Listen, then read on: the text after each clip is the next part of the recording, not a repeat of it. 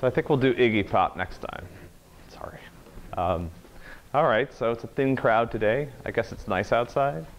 People have noticed that.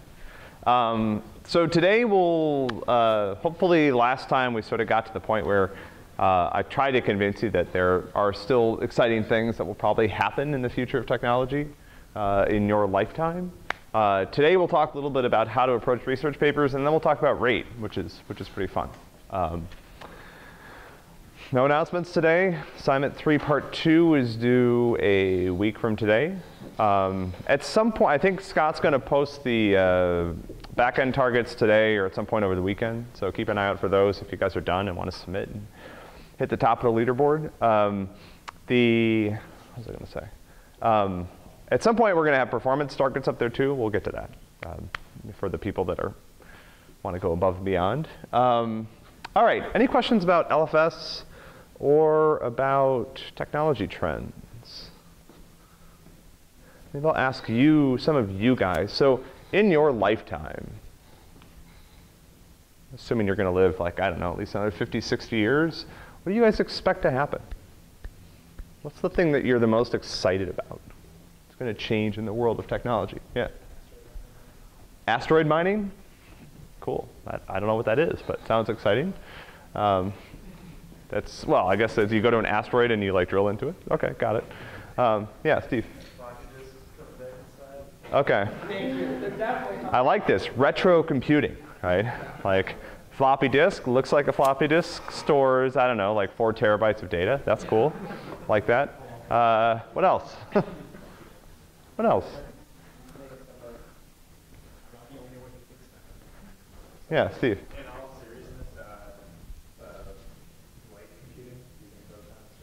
Oh, interesting. Quantum computing, interesting. Uh, that would be, yeah, yeah. So, so what does quantum computing promise to make, make possible? What's exciting about quantum computing or, or sort of scary? I know like this much about it, but yeah. Yeah, you can factor. Uh-oh. If you can factor, I'm moving to another planet because there's going to be chaos here, right? Um, everything, everyone will know everything about everyone else. All secrets will be revealed. All bank accounts will be available to everybody. Um, again, I don't know. Buy your cabin in the woods right now. Prepare for that. Uh, there we go. Okay. What else? Future. Let's say. Let's hope. Let's assume we can't factor, so there is a future. Um, what's that? Cloning, okay. Yeah. It's more like biomedical. What about tech? What's exciting about tech? Yeah. Self-driving cars. Uh, that, I have to say, in like the next 10 years, that is, I am ready, man. Just sign me up. I'm ready for my self-driving car. Yeah.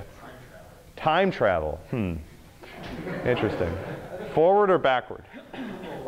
Okay. One of those directions is harder than the other. Yeah, Ron.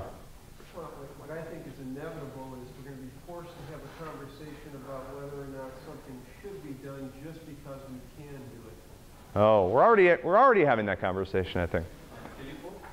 There was, a, there was a woman who was here like two weeks ago, gave a distinguished speaker, distinguished talk. Did anyone go? Yeah, so the talk was on deceptive speech. So I don't know. I mean, a lot of it was lost on me, but basically it sounds like what she wants to be able to do is to listen to you and to be able to tell if you're lying or not. Hmm. I don't know if I want that to be possible because that would be interesting. Yeah.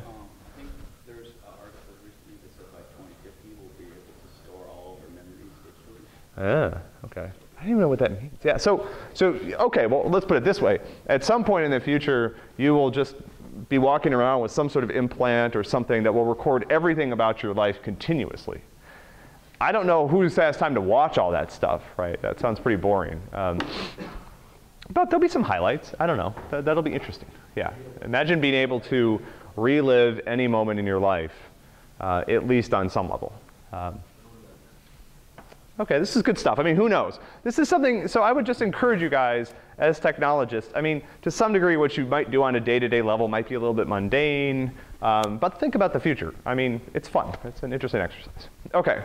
Um, so let's talk about research papers. So research papers to some degree are about the future.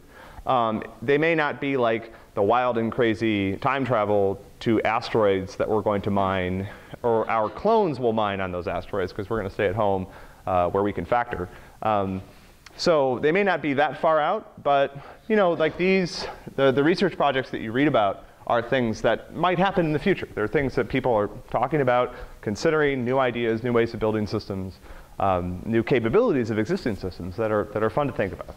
Um, if you want to read papers, and at some point, I, and, and this is a, you know, reading papers, maybe a good way to think about it is this is a way to connect you to the future, right? This is a way to connect you to the cutting edge of, of systems design. Um, if you want to read papers, read good papers. There's a lot of crappy papers out there. There's, there's an axiom in academia which says that any paper can be published somewhere, okay? So you can take that and expand on it and assume that a lot of the papers you find are any paper, okay? You don't want to read any paper, you want to read good papers. Um, and we'll look at some, some excellent papers over the next month or so. Um, don't worry about understanding the details unless you really care. You know, a lot of systems papers include a certain amount of implementation detail. It doesn't really matter, right? What's the big idea in the paper, um, if there is one, or what's the main contribution? That's what you're going to remember in 10 minutes or certainly in 10 days. So unless you're really curious about it, don't worry about getting bogged down in the how and the, you know, exactly how people did things. Look for the whys. Try to figure out sort of how this fits into a bigger picture. Um, so we'll talk about this in a second. Uh, there's, there's, this is, there's nothing natural about how academics communicate with each other, but there is a system which you can describe.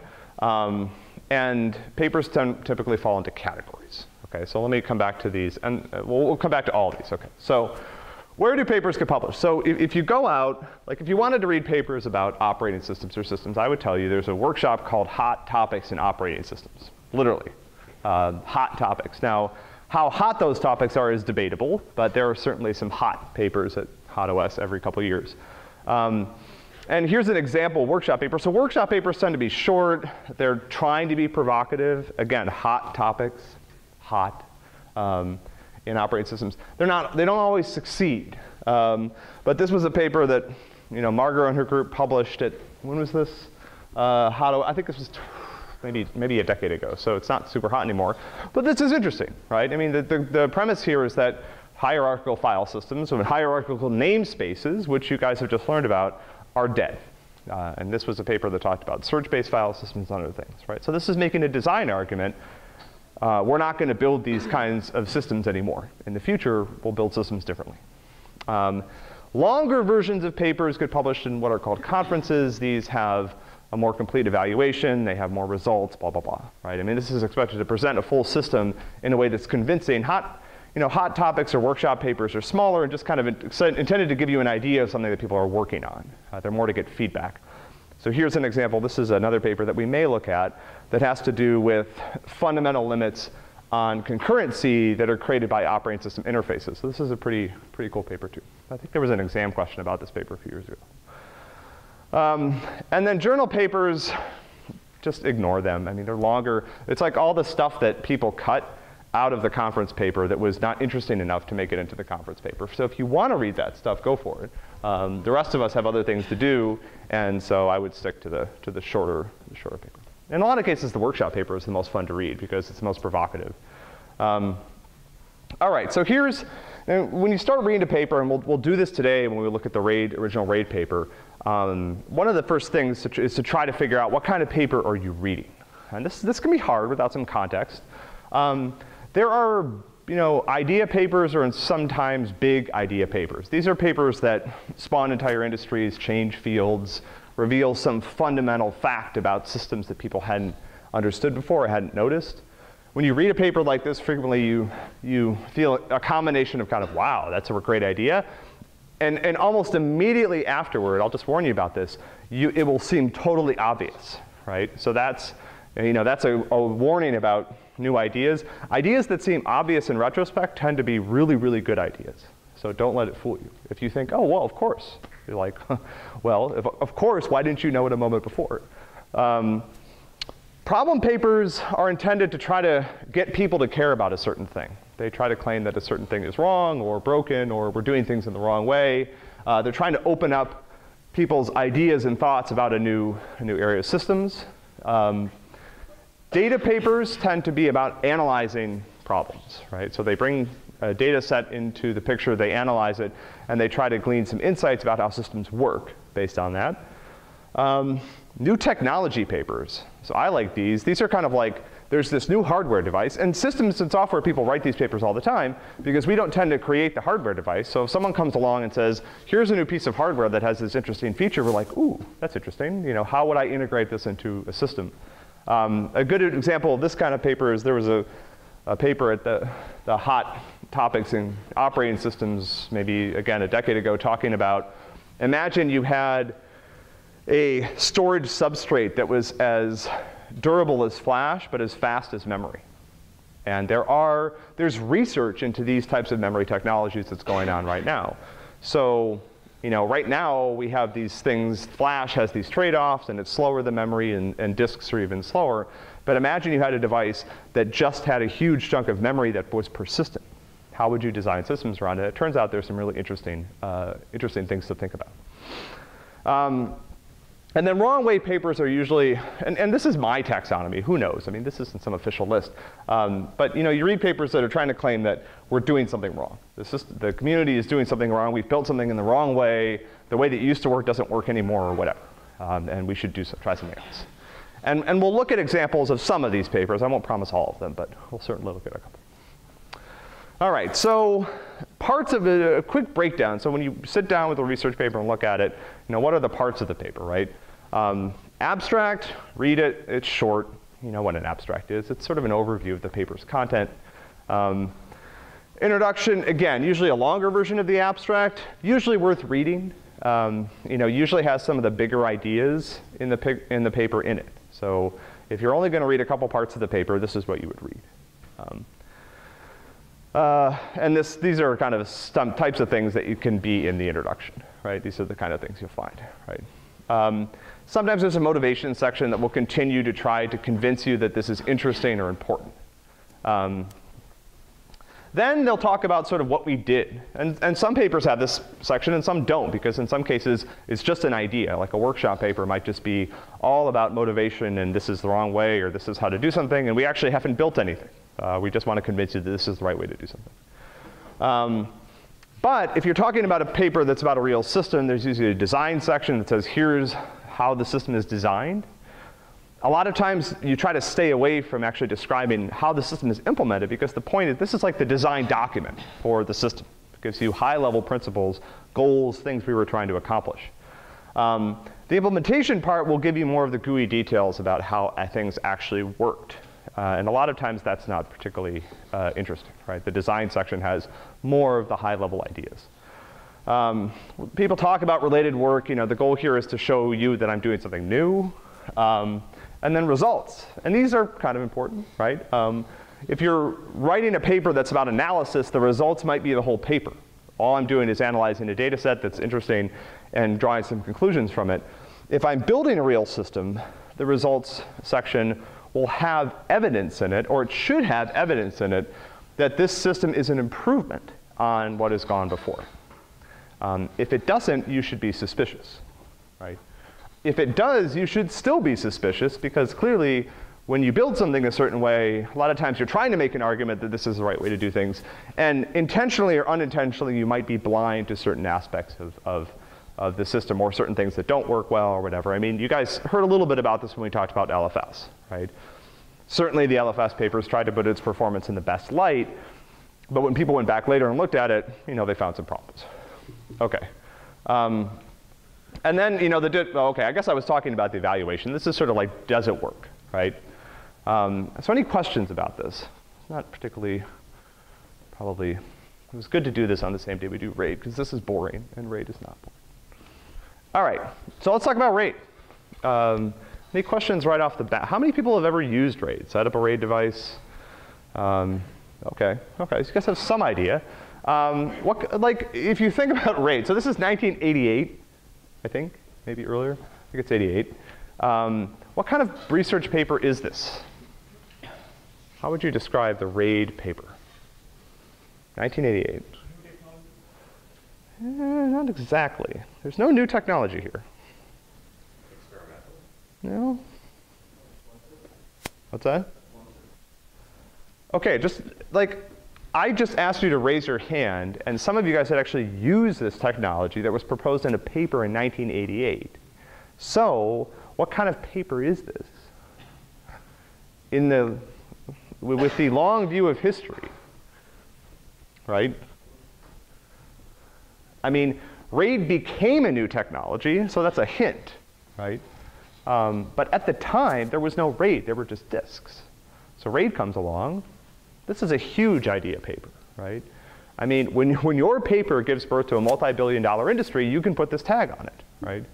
Um, you guys are, you know, now we're all, eh, RAID, whatever, okay? But there was a point at which RAID didn't exist. There was somebody who came up with the idea. This is the paper that started, you know, a, a huge industry and an approach to solving problems that goes far beyond disks.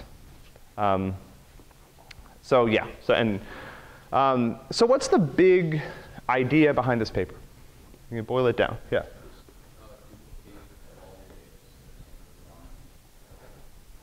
Okay, so there's ideas about duplication and redundancy here, uh, but what's the, yeah. No, but take it out of data right? Try to, try to generalize the idea as much as possible. Because once you do that, you see this idea everywhere today. Yeah? Exactly. I mean, that's, these are things that RAID accomplishes in the context of storage. But what's radical about what they're doing here? What, what did they propose? Yeah. You can uh, pick up data. Nope. I mean, you, you not uh, think about uh, buying expensive hardware to do. So you Yeah, so that's like that, I would say here is the key idea. I can use a couple of cheap things to build a system that outperforms a single expensive thing. That makes sense? So where else do you see this idea play out? Give me another example of, of someone. Yeah, so originally, now, now this is not true anymore, right? But when Google got started, Google bought commodity PCs. Google stocked their data center with Dell PCs. They would buy like a thousand of them at a time. They would get them, you know, and, and they had, there were reasons for this. The PCs were kind of exactly what they wanted. They had big disks, they had certain features, but they didn't buy expensive servers. Now they do, right? Now if you look at Google's data centers, they've got custom made servers because they've got like a million of them or something like that, right? But when they started out, they said, look, we're gonna build this really reliable, efficient search engine, but we're not gonna do it by buying a bunch of expensive servers. Instead, we're gonna, we're gonna purchase a bunch of cheap commodity PCs. And they got a great, I mean, you can imagine if, if you buy the old Dells at like 10,000 at a time, you get a pretty good discount, right? Um, so, um, you know, multi-core processors is another example of this. Here we had some fundamental limits that we hit. But at some point, getting more speed and more computation out of, the, out of hardware required that we start replacing, you know, the, the cores that replaced the P4 were on some level a little simpler. There were just more of them. And actually, I think as, you, as we see the future of computation in silicon, you're going to see this even more uh, in certain ways. Um, Google crowdsourcing, you know, I mean, using, trying to gather lots of unreliable inputs from a large group of people and combine them together to create a reliable result. It is, you know, I could measure a certain thing with a really expensive sensor, or I could try to combine a bunch of measurements from cheap sensors into an equally reliable uh, data point. Okay? All right, so what's the problem? I mean, the RAID paper starts out by, by pointing out a problem with current disk technologies. This is, again, 1988. So some, many of you guys were probably not born. Uh, but if anyone looked at the paper, like the first couple pages, it's always a good test to see if anyone read the paper, because this is like very, very early on. And I think, I, I think the sentence starts with the problem is, so it's not hard. They didn't hide it behind fancy language. uh, computer CPUs are getting faster, computer memory is getting faster, and hard drives aren't keeping up. So they have this second part of the paper that's like the, the I.O. crisis or something, the current I.O. crisis. Um, and they try to convince you in the paper that this is a fundamental problem. And, and I think they're right, right? And it didn't, it didn't, they do a little bit of math and it's kind of, it gets a little weird for a minute, but you kind of agree with them. I mean, look, this is 1988. It's almost 30 years later. We know that this happened, right? Now we're living in the future. We know that they were right, uh, but they were quite prescient. Um, so we need innovation to avoid this I/O crisis. Um, and and so now, if you apply the, well, I just gave away the answer, but if you apply the RAID approach to things, there's this fundamental trade-off here that they're making, which is the expensive hard drive, you can argue would be more reliable. Should be more reliable, I paid more money for it, I get more hours out of it. So the cheap things fail more often. And so RAID is both an argument about performance, meaning I can get more performance if I merge things together, but as people pointed out, it's also an argument about fault tolerance. How does this play out in Google's data centers? I mean, you know, clear, clearly Google has been online the whole time we've been here. Um, what, what goes on there? Well, they're like constantly replacing hard drives and units as they fail. Like, Yeah, I don't even, it's, it's probably at least a couple of hard drives, entire machines in Google have failed since we started class.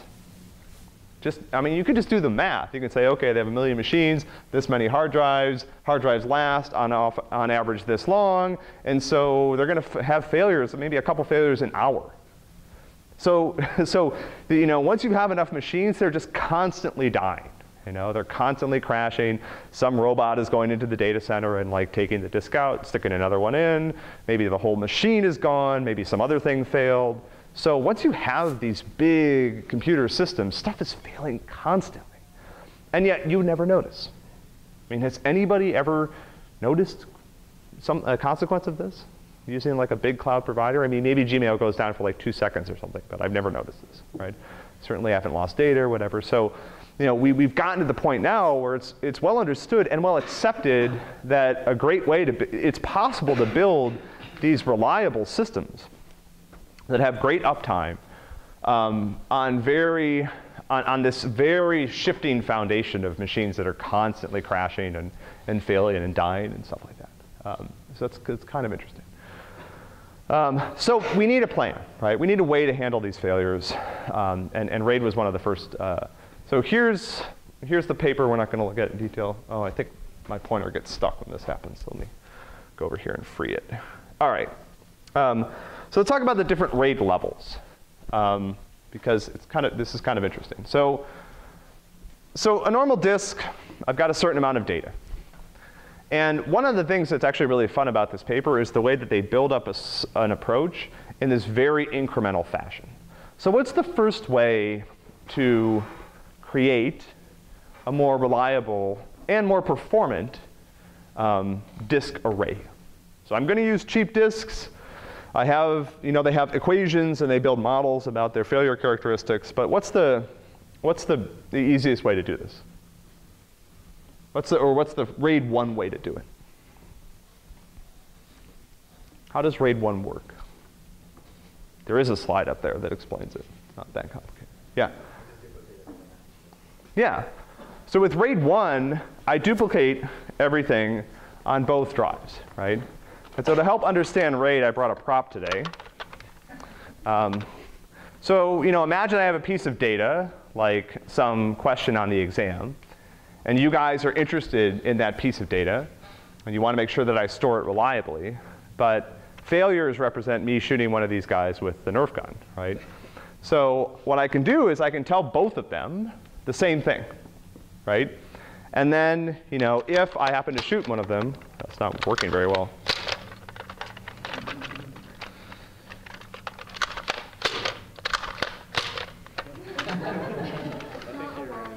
What's that? You guys are helping me debug my prop. We haven't used these for a while in the lab. It's too bad. Ah, there we go. Okay. There we go. So I just, Vicky is, has failed, right? So, do we still know, do we still know the information? Who are you going to ask at this point? Yeah, so we still know. That's good. So this is RAID 1. It's not complicated.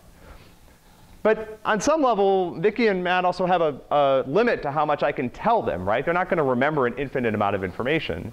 Um, so if I always am telling them the same things, how much data can I store on this pair of disks? So remember, I started with one disk worth of data. Now I bought two copies of that same disk. How much, what's the capacity of the RAID 1 array?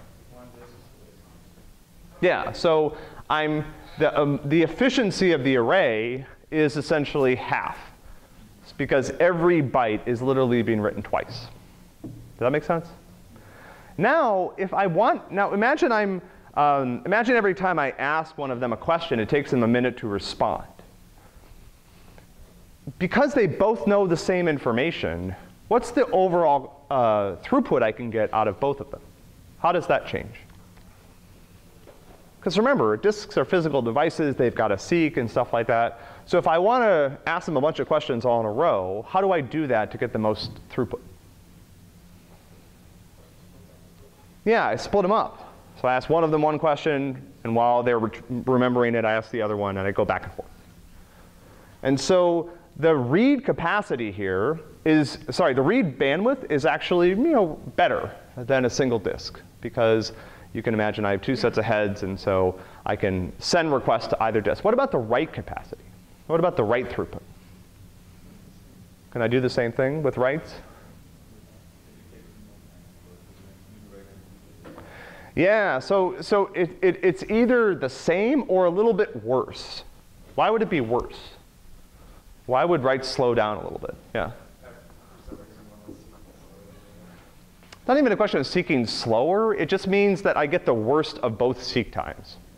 So when I make a write to a RAID 1 array, I have to wait until both disks store the information. So depending on where they're positioned, you, you can imagine that I'm essentially taking two random numbers drawn from a distribution and taking the larger one every time because I have to wait until both writes complete to know that there's uh, data on the drive.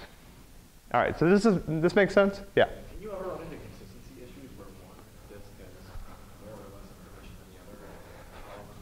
Not on a not on a RAID 1 array, right? The goal on RAID 1 is that the two copies are identical. And you could imagine if I have some failure, I can reconstruct the array by if I find a block that's mismatched, I kind of choose one of them, right? I just keep them in sync. Yeah. But RAID 1 array, the goal is I always keep them in sync. And so when I write to them, I have to write to both of them synchronously and wait for both writes to finish before the data is on disk. Yeah, good question. All right. So the there's a couple of problems here. The main problem here is capacity. I've lost quite a bit of space. Um, but there's another problem. Okay, so the performance here is better reads. Capacity is the same as one drive, but I bought two. So I'm not super happy about that. Okay, the second, the second thing they think about in RAID 2, now there's only a couple of these RAID levels that are really alive anymore. Does anyone know what they are? There's five original RAID levels. How many are still in use? Zero, one, five, and Uh, zero is not true RAID. Zero is I want to lose all my data RAID. Um, we'll come back to RAID 0 in a minute. Uh, RAID 1 and 5. RAID 10 is also after this paper, right? So yeah, RAID 1 and 5 are still around.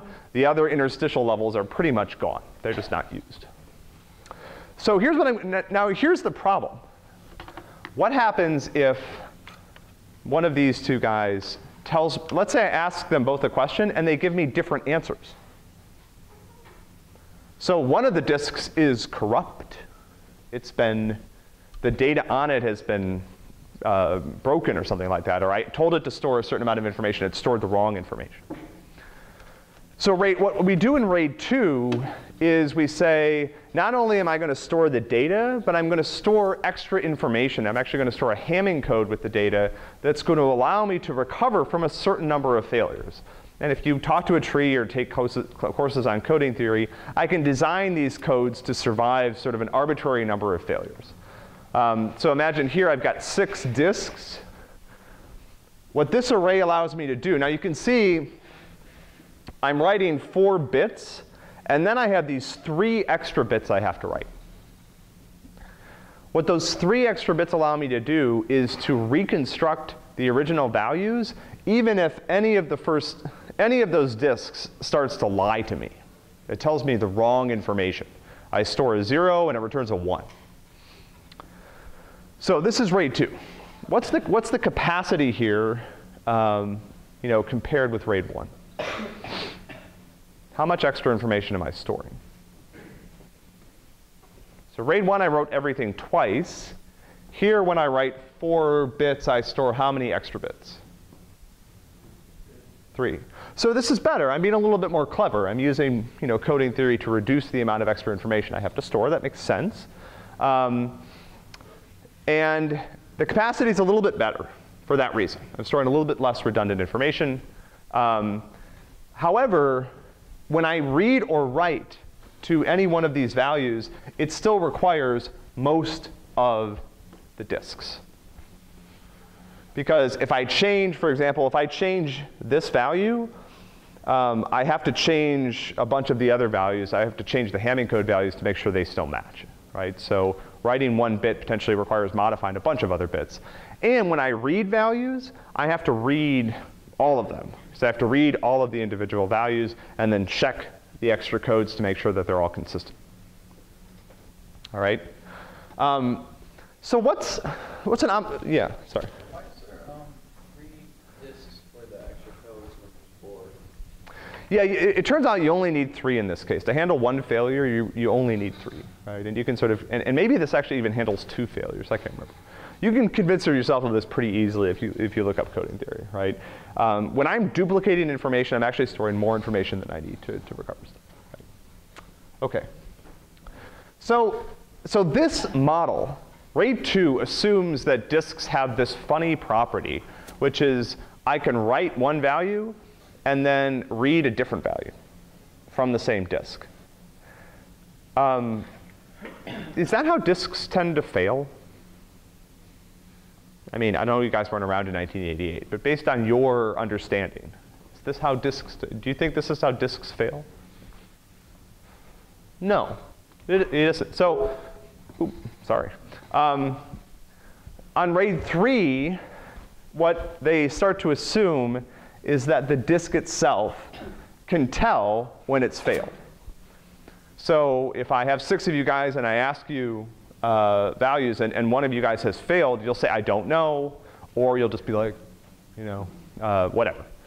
So here I'm assuming that there's some disk level controller that can detect failures. And so I don't need to worry about a disk telling me the wrong value. The disk will never return an incorrect value. Instead, what will happen is the disk will lose the value. It'll say, I'm not sure, or it won't return a result. You can imagine this is equivalent of just taking a RAID array and yanking a disk out of it. The disk is gone. The array knows it's gone. The disk is not powered on anymore. So if I send a command to that disk, I'm not going to get incorrect data. I'm going to get no data. So now the nice thing is, if I make that assumption, I can reduce the amount of extra information I need to one, to a much smaller amount. So for any number of, uh, so if I, if I want to be able to correct a, an error in a certain number of bits, I store one extra bit. That means that if any of those bits is missing, I use the extra bit to determine the parity, and I can correct it. Does this make sense? Um, the, the, RAID 2, the way that I do the coding here has a lot more in common with the way I do coding for things like wireless signals, where they actually can get corrupted. Um, this is a feature that's much more akin to things that fail. So if I tell, you know, if I tell you guys five different values, five different one or zero values, I compute the parity bit by summing them all up and determining whether it's odd or even. And that's the extra bit that I store. That way, if one of you guys fails, I use the parity bit to determine whether or not the failure was a zero or one. Does that make sense? Is confusing? Hopefully you guys understand this. Um, so here, compared with RAID 2, I made even more improvements in capacity because I'm storing less redundant information. I'm only storing, you know, I only need one bit of redundant information rather than, than three for that four bit sequence. Um, and to, to, some degree, the rest of the system is unchanged. Yeah, Ron. What happens if two drives uh, fail at the Ah, okay. This is a great question. So what happens here if two drives fail?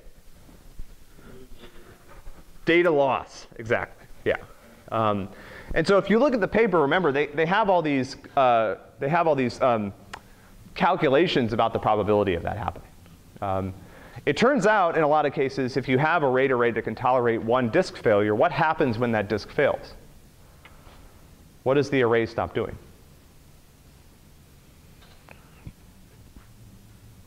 Like I have a RAID, RAID array, I've got five disks in it. One of the disks dies and the array can tell that. If I've configured it to handle one failure, what will the array stop doing? Yeah. Yeah, maybe. Maybe stop reads too. Just stop working, right? Usually, you're right. I mean, usually what will happen is it'll say, I'm not going to let you write anymore because if you lose one more disk, this data is gone. So what's your job at that point? Replace the disk. Replace the disk. Yeah, exactly. And this is, this is, again, this is like the same design principle that everybody uses to build everything now. When one of the computers, if you took half of the computers in Google's data centers and could get them to all fail at the same time, you know what would happen? Data loss, right? Who knows what it would be? Like your old emails, pictures, I don't know, whatever. YouTube videos are gone, but it would happen, I guarantee it. Nobody can survive that kind of outage. I mean, Google probably has plans to survive like one or two of their data centers being down or hit by a nuclear strike or something like that. Um, but if I could take half of their computers and crash them and destroy the drives, they would lose data. I, probably. Right? I doubt that their failure margins are that high. Um, so, but as individual machines and disks fail, they replace them. And the replaced disks are reloaded with additional information, and the whole system just continues to go. So as long as I have small numbers of failures and the system is built around it, I can replace the components in time to keep it operational. But if I can wipe out a bunch of things all at once, then you're in trouble. This is why people say, you know, if you really want to save, if you really want your data to be really secure, why is it not sufficient to put it on a RAID array?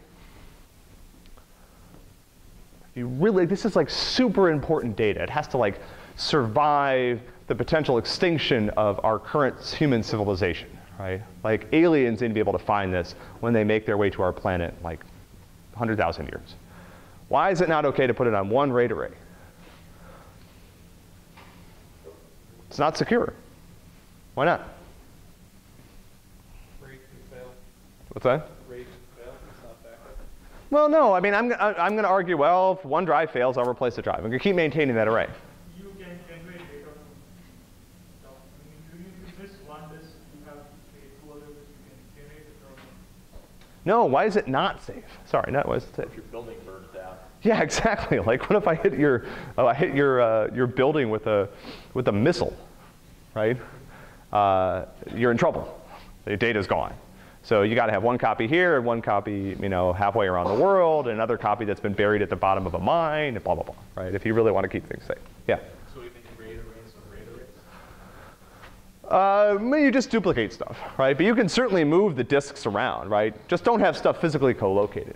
Um, it's interesting. It turns out, you guys might not, may not know this. I found this really fascinating. Uh, insurance companies handle claims differently if a missile hits your house during a war or during not a war, right? So you can file a claim if a missile hits your house, but not if the area that you're in is actually uh, officially as being part of a war. I guess that makes sense, but I thought it was interesting. There's a lot of fine print in those insurance policies. Um, what's that? No, I just heard this on the radio. It was very interesting. It has to, so, but, but to some degree it's related because it has to do with correlated risk. Insurance companies don't want to, to uh, insure things where a bunch of things could go wrong at the same time. That's why it's so expensive to get flood insurance because a flood will destroy a whole bunch of houses all at once, all in the same place. Okay, and, and that would also destroy your RAID array. Um, so RAID 4. So the, the difference between RAID 3 and RAID 4 essentially boils down to in RAID 3, I'm storing small bits of information on each disk. And then, like you could imagine that I have one bit, two bit, three bits, check bit, four bit, five bit, six bit, check bit. It would be probably better to have five disks in this example because then I could store nibbles of, of four bits. Um, but you get the point. And so the, the problem here is that if I want to read like a byte, how many disks do I have to contact here? All of them, okay? Um, it turns out that's kind of dumb because I can do the checksums on a much higher granularity. So I can take a whole 256 bytes and produce checksums for all of the, the, you know, all of the parts of it. And so what I do in RAID 4 is we use a much larger stripe size. I store larger blocks of data. And so in this array, let's say that the block size is like 256 bytes or something like that. How many disks do I have to contact to you know, read or write one byte? Just two, right? Whatever byte it's on, and disk three, which is the check disk. So on this system, I've got, these are my data blocks, and this is the check block that's stored on the, on the fourth disk. This makes sense? So this is improving my throughput because I can use more of the disks in parallel. What's the last problem here? It's kind of alluded to on the slides. There's one thing I can do a little bit better. One final little optimization. So we said that reading or writing bytes to this array, particularly writing bytes, but certainly reading, requires two disks. So if the byte is here, which disks do I have to access? Zero and three, Zero and three. What about if the byte is here? two and three. What about the byte is here? What do all three of those have in common? Disk 3. So the check disk in this RAID 4 scenario becomes a bottleneck. Every operation on the array requires the check disk, so what's a natural way to fix this? Um, yeah, so what I do here is I stripe the parity information across all the disks. And this is RAID 5. This is still around. People still use this. Um, here you can see that disk 1 has data blocks for A, B, C, and a check block for D. Uh, disk 1 has data blocks for these two, check block here. So if I want to modify um, a byte here, in C, I have to talk to disk 0 and disk 1. If I want to mo modify a byte here in B, I talk to disk 1 and disk 2. So now I've distributed the load for all the checksums across the disks uh, equally.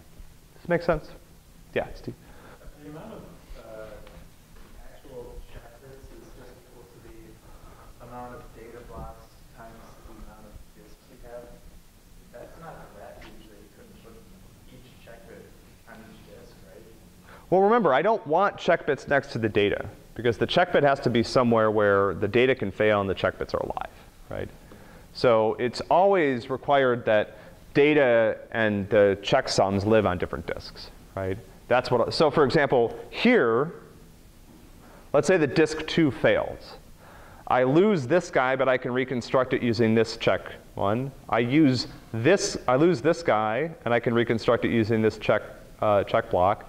I lose A3, which I can reconstruct. What about B? I've lost a check, check bit. What do I do? Reconstruct it using the data blocks, right? I use the data blocks to generate the checksum anyway. So I can definitely reconstruct the checksums. So this is what would happen if I, if I, took a disk out of this array. Um, so this improves write performance because now the, when I write, I'm not writing to that one disk over and over again where all the check, checksums are uh, located. Um, okay, so here's RAID 0.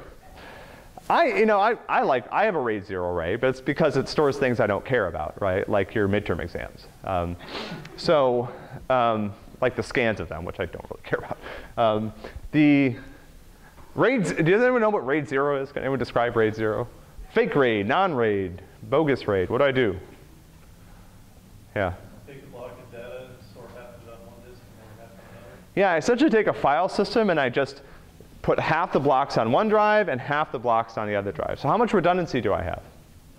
Zero, RAID zero. No, there, there is no RAID level here.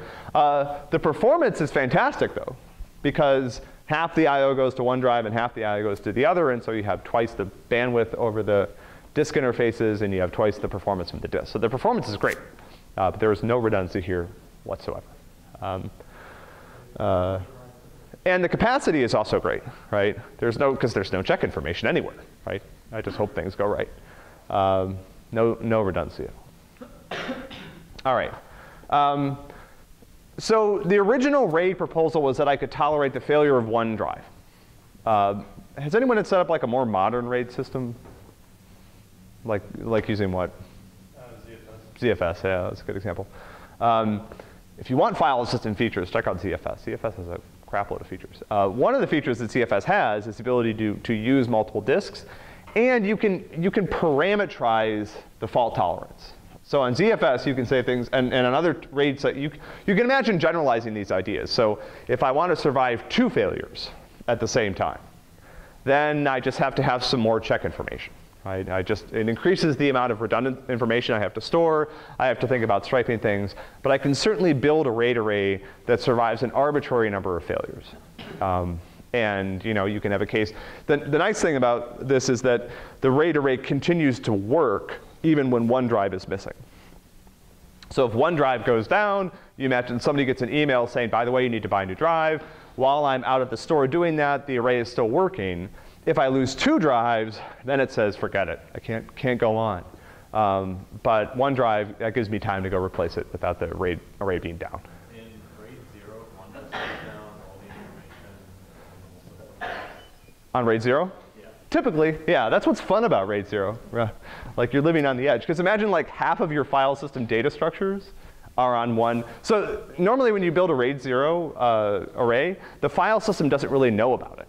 So the file system just thinks, wow, that's a really big disk you have there. Um, so the file system puts like some of its data structures there. And so imagine I took a file system and I killed off half the blocks. Would it continue to work? Probably not, right? That's, again, that's just a large number of, you'd hit inodes, you'd hit all sorts of important things, right? It's just very unlikely. Um, but yeah, so if you, if you want to live on the edge and great, get great performance, go RAID 0. Um, RAID 0 is, so it, it actually turns out from a redundancy perspective, RAID 0 is worse than a single disk. Why? Yeah. Exactly, right? So imagine I've got two disks, and every time I buy a disk, there is, that disk is going to work for a certain period of time, or a certain number of writes. Um, with a normal file system, it works until the disk fails. With RAID 0, it's like before. I get to pick two random numbers from a distribution, and I get the shortest one. That's when my file system dies. So that's, that's a little sad. Um, okay, um, yeah, so this, this, is, this is what happens. So uh, when you put a disk in, now, now rebuilding the array, that seems like a sort of trivial. Uh, how long do you think that takes? Big RAID array, disk goes down, I throw a disk in and it's just sweet, ready to go. This is, so this is actually another interesting sort of part of RAID. Um, the story doesn't end when I put the new disk in. Why not? Yeah, I mean, it basically has to rebuild that drive. It has to, to you know, remember, go back to, uh, go back to RAID 5. If I lose this disk, I have to replace all the data on it. And that takes a long time, particularly if you have a big RAID array that's like multiple terabytes or something like that. You lose a disk, it can take days for it to be rebuilt. Unfortunately, while the array is being rebuilt, it's still vulnerable to data loss because you know, um, if that drive goes out and another drive fails, I still, still don't have, that drive isn't up at full capacity, right? So if, if that drive fails, then I'm in trouble. All right. Um, any questions about RAID or, or redundancy in the real world?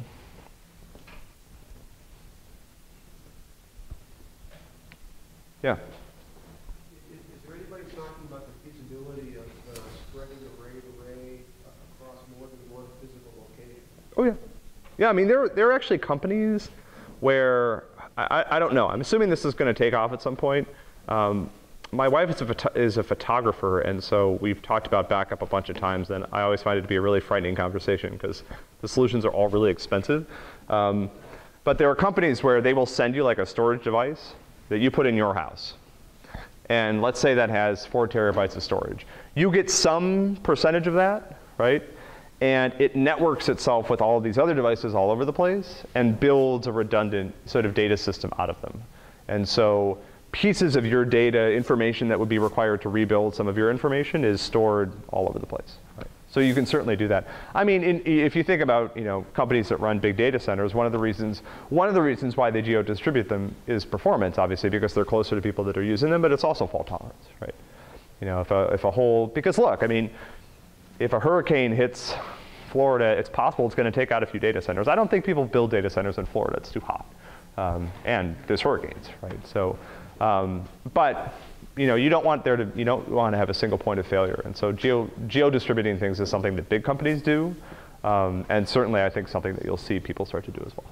Right? That's what I would love. I don't know. When we looked into this, those solutions just weren't very mature yet. But maybe it's time to take another look. Any other questions? All right, um, so next week we're going to do a couple of lectures on OS design. So how do I how do I organize the operating system itself? Where do I put things? What are the implications of that? Uh, we'll start that up on Monday. I'll see you then.